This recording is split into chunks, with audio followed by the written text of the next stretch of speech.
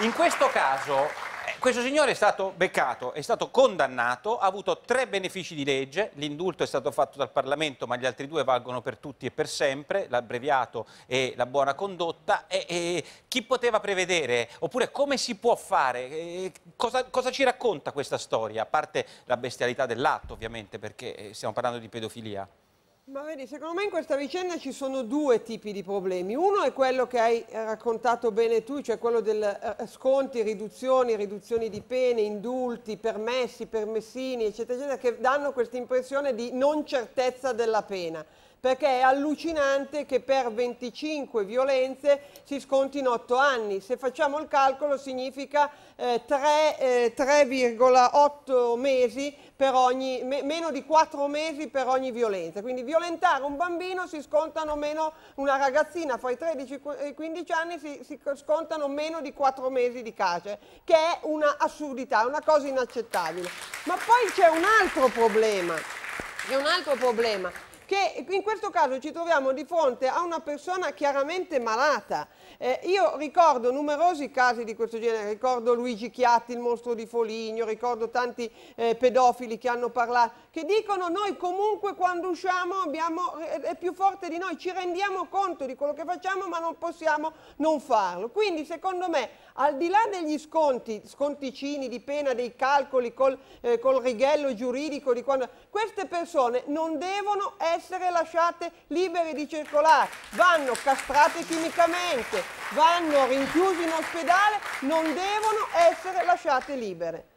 Filippo, come usciamo allora, da questa... Qua, eh, Nicola, Mario Giordano, Meluzzi, nessuno potrà sospettarmi che io sia amico dei magistrati, voglio dire. Però, allora, noi non è che dobbiamo immaginare ogni volta che ci siano dei magistrati deficienti che così si divertono a lasciare in giro pedofili o gente che comunque compie crimini perché non arrivano a fare i ragionamenti che noi, tipo quello che ha fatto Mario Giordano adesso, facciamo in questo talk show. Non è così che funziona. In Italia comunque sia, c'è una cosa che si chiama articolo 27 della Costituzione, una cosa che si chiama legge Gozzini e i numeri purtroppo, lo dico col massimo rispetto per le vittime, vanno visti nella loro globalità, vanno visti grandi e la domanda da porsi è Funzionano queste leggi? Cioè per un caso come questo, disgraziato, maledetto e che infatti finisce nell'occhio dell'opinione Giordano pubblica, segnala un numero. Ci sono, ci sono dei numeri che magari spero non siano quelli di Giordano, non lo so, dei numeri per cui globalmente si possa dire che tanta gente viene comunque recuperata viene, e che la legge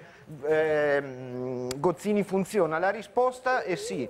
Eh, il mio ragionamento non sarà scenografico come le, i numeri dell'otto che sta dando Mario Giordano, però la legge Gozzini funziona. Sono le ragazzine violentate, Filippo, 25. 25. Ma hai capito quello che ho detto? Perché Mario, scusa una cosa, ma io come stasera. Ti permetti io non, di dire no, ma come ti permetti? Io non so cosa ti è successo stasera.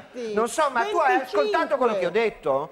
Ho ascoltato, ecco, hai allora, detto che detto, sono i numeri dell'otto, le bambine violentate, hai detto che sono numeri dell'otto, Filippo. Sì, ho detto così, va bene. Vabbè, ma ho non detto è che, che se fai, una, se fai, applichi una legge che funziona, non lo so, adesso io i numeri li invento. Non funziona la che legge funziona, Gozzini, Filippo. Funziona la legge Gozzini, la legge perché per funziona. questo per non uno funziona, come questo ce ne sono funziona. 900 che invece tornano alla vita normale. Che non Avvocato, funziona la fai, legge Gozzini. Senti, fai, fai una, è tutta la, la vita che ci leggiamo uno con l'altro, Mario. Fai una campagna tempo. per abolire l'articolo 27 della Costituzione. Falla, perché Avvocato. io ti assicuro, tu non sei d'accordo con quell'articolo. E te lo dico proprio con, senza polemica. Cioè l'articolo 27 che è quello del recupero. È quello che spiega che la pena deve avere una, una, un ruolo riabilitativo terapeutico e che non serve a tenere la gente lontano dalla circolazione. Bene, avvocato. Casi... Filippo, Filippo. Io mi chiedo veramente, è 30 anni che ne scrivo, ma che cosa dobbiamo fare? Lo chiedo, non so, al ministro dell'istruzione, della giustizia, che cosa dobbiamo fare? Quanti film americani dobbiamo vedere per apprendere la cosa basilare che un colpevole, perché lui tra l'altro è confesso, sì. va in galera, ci va in galera, dopo un processo, non prima, dopo un processo e se un giudice l'ha liberato, evidentemente io che amico dei giudici non sono, è perché ha valutato che costui può andare col braccialetto entro con eh, determinati eh, limiti e circostanze al processo come avviene in tutti i film americani e nella giustizia americana tranne che in Italia, a piedi al suo processo dove 100% verrà condannato e finirà in galera dopo il primo grado, perché questo prevede la Corte d'Assise. Ecco, che e- cosa dobbiamo fare per, Giordano. per imparare questo? Giordano e poi voglio, voglio Francesco Caringella e Magatti, però voglio sentire il vostro punto, perché quello è alle arresti domiciliari, comunque col braccialetto, quindi da lì non può uscire, e dice eh, eh, facci fino a prova contraria, in Italia c'è l'idea che uno deve, va in galera dopo un processo. Sì, va in galera dopo un processo, ma se i reati sono di sangue, secondo me deve essere aumentata la carcerazione preventiva.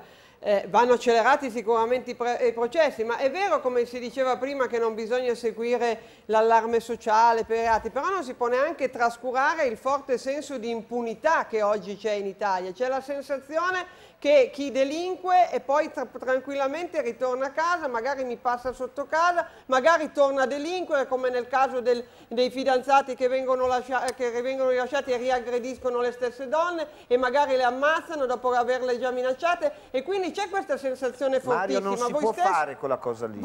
sì, eh, si può fare, invece No, bisogna la Costituzione farlo, lo caro Filippo.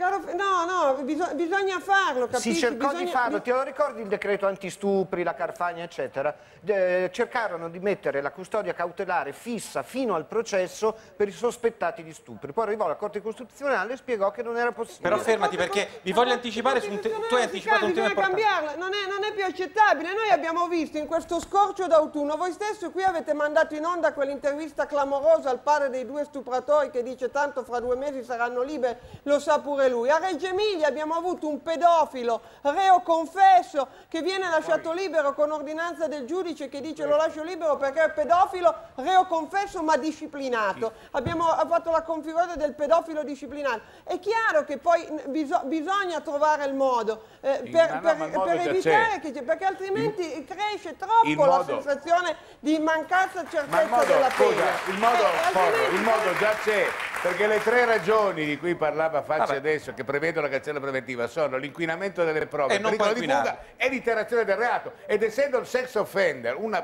soggetto che classicamente tende a iterare il reato, è chiaro che la possibilità di farlo c'è, è un ovvio. Francesco, Francesco.